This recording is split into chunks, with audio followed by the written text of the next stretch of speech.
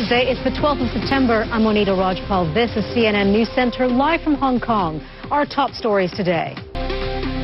This is a test of just how serious Russia and Syria are. With those words, the U.S. Secretary of State landed in Geneva. It's all part of Washington's push for a diplomatic solution to the crisis in Syria. John Kerry just touched down a little while ago, over an hour ago. Uh, he'll be meeting with Russian Foreign Minister Sergei Lavrov to work out a blueprint on how and when Syria would hand over its stockpile of chemical weapons. CNN's Jim Sciutto was traveling on the plane with Kerry. He joins us now live uh, from Geneva. And Jim, the Secretary of State said we can test whether there is a credible and authentic way to move forward. What is he looking for out of these meetings?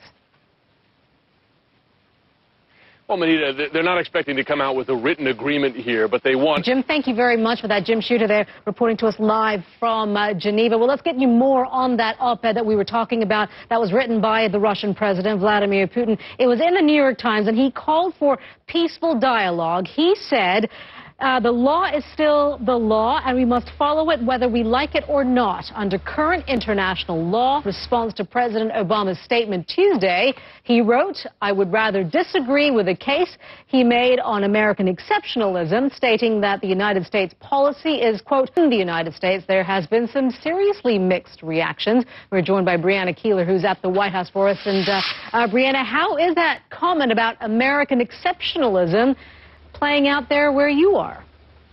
Well, for some lawmakers, Monita, it's actually stomach turning.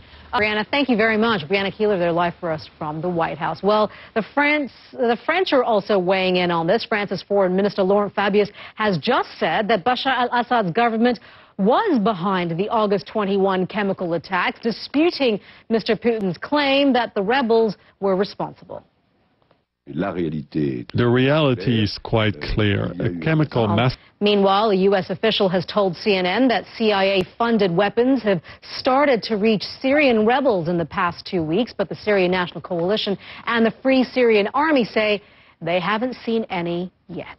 You are watching CNN News Center live from Hong Kong. Still ahead, a tropical storm in the Pacific is strengthening and heading towards straight toward East Asia. We'll bring you more details from the Weather Center. Stay with us.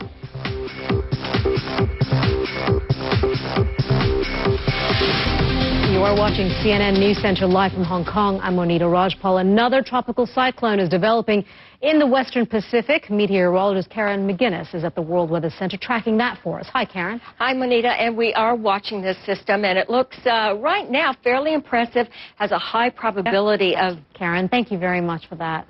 Well, satellite images of North Korea are raising concerns. It's restarting a dormant nuclear reactor. Here's the photo U.S. researchers say shows signs of new activity. They point to two columns of steam rising from a building believed to house uh, steam turbines and electric generators. We want to bring in John Delury, a senior fellow at the Asia Society Center on U.S.-China relations. He joins us now from South Korea. John, thank you very much for being with us. What would what should we make of these images?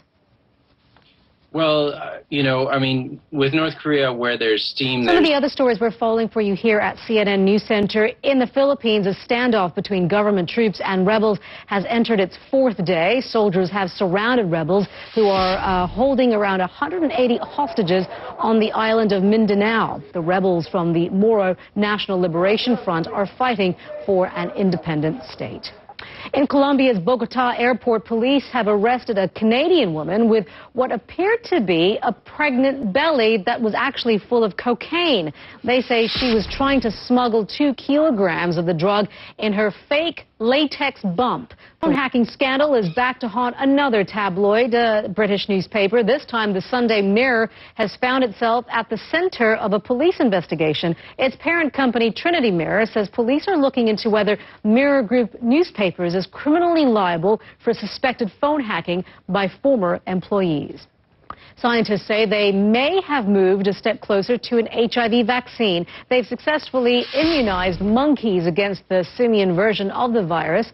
The research was published in the journal Nature. It showed half the monkeys treated tested clear of the virus, but uh, they are still far away from testing on humans. You are watching CNN News Center live from Hong Kong. You are watching CNN News Center live from Hong Kong. He has spent the past seven years juggling life as a prince and a search and rescue helicopter pilot. More recently, he's become a husband and a father.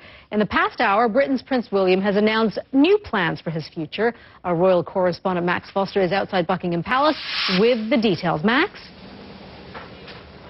Yeah, it was interesting because we knew an announcement would be coming at some point about what he was All going right, to... Max, thank you very much for that. Our royal correspondent Max Foster there live for us from Buckingham Palace.